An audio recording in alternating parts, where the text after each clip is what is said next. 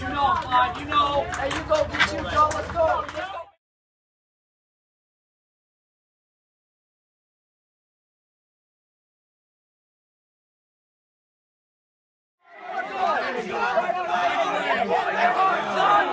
Swing hard, Sean! Hustle it out, Sean!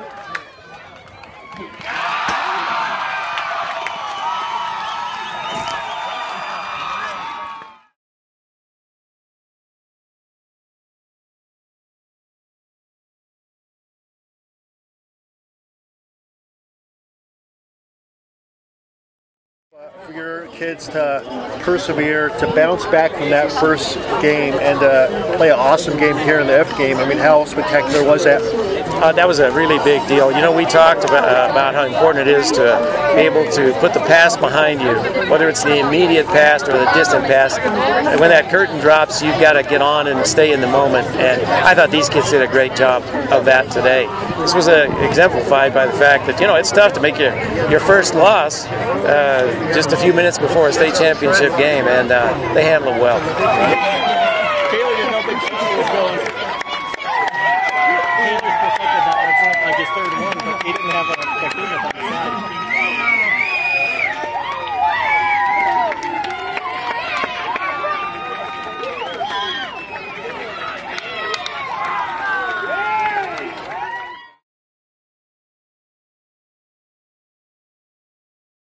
ready were you to step step on this mound and, and go out there for that winner take all game? I was extremely ready. I think uh, throughout practice we, we scheduled it perfectly to where I have my uh, my rest and a couple of other pitchers perfectly to uh, if we had this if game I'd be ready. And fortunately I, I was ready.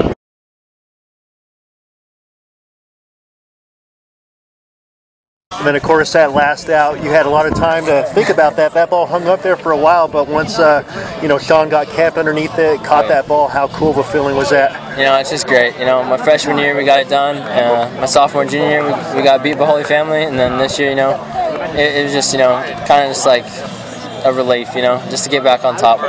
And you and the rest of the seniors have come full circle in that sense. I mean, how determined were you to get this program back to the top of that podium in your final game wearing that uniform? You know, it's not just our seniors, our juniors, our sophomores, you know, even our freshmen, you know, every day in practice, you know, they're throwing batting practice at us. They're helping us get better at the same time they're getting better. So, I mean, it was it's the whole program, you know, get back on top. It wasn't just the seniors.